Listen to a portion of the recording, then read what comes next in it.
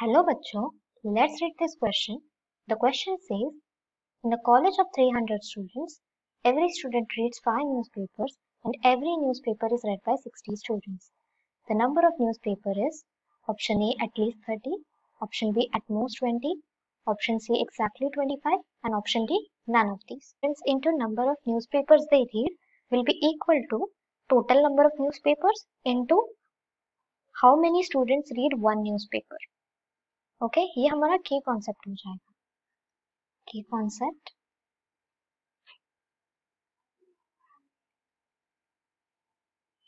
number of students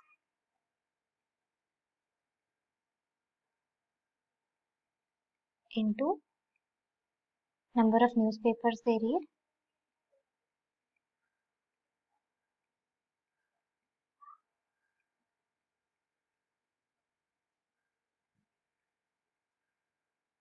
Is equal to total number of newspapers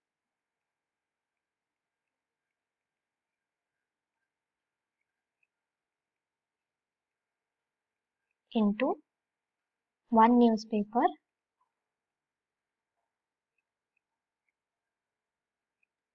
read by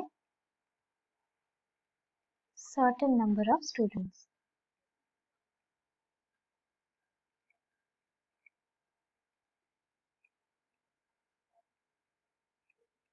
Let's proceed with our question जो given है, वो note down करते हैं। Total number of students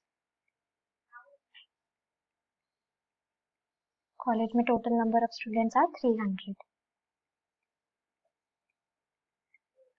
and number of newspaper every student reads?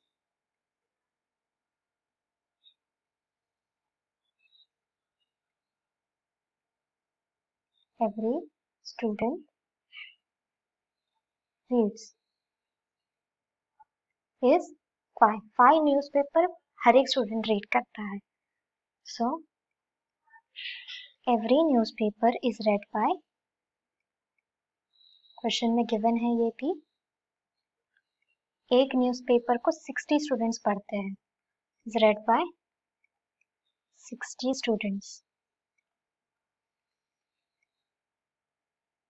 and अब हमें क्या find करना है? Total number of newspapers so let number of newspapers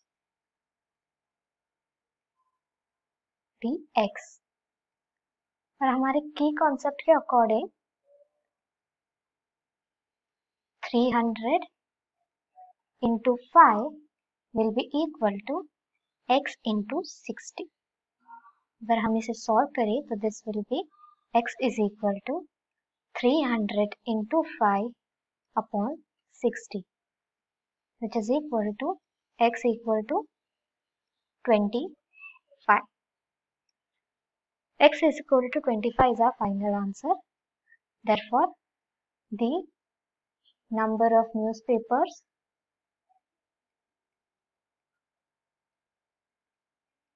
is 25. So, the final answer is option number C, exactly 25. Hope you understood it well. Best of luck. Thank you.